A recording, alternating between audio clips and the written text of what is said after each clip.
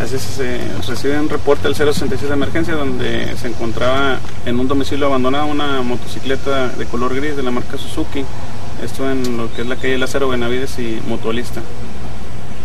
Estaba dentro de una casa abandonada. Así estaba en el interior de un domicilio abandonado. Esta va a ser asegurada y va a ser puesta a disposición del Ministerio Público. No tiene reporte de robo. Aún no, no nos ha llegado el reporte de robo de ese, de ese vehículo. ¿Qué es el número de las placas? Son placas de Texas, es 4PE017 de Texas. ¿Ya checaron el C4? Sí, ya se checó en C4, no, no se cuenta con reporte de, de robo. No está desmantelada, está completa. No está, está completa la motocicleta. ¿Trae gasolina?